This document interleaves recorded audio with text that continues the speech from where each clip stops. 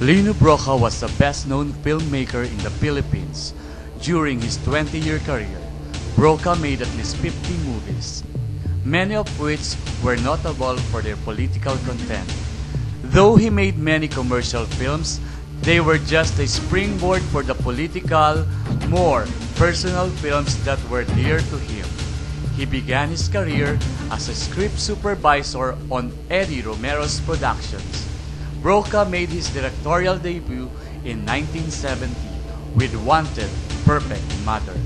He then began working with Lea Productions, where he came out with eight more commercial films before deciding to make films independently. In 1974, he made his own production company, Cine Manila, where he created his most powerful films such as Maynila sa mga kuko ng liwanag, a strongly critical film that chronicles a young man's realization that his own problems reflect the problems of his country. In the same year, he directed Tinimbang Ka Ngunit Kulang and earned Best Director Award from FAMAS.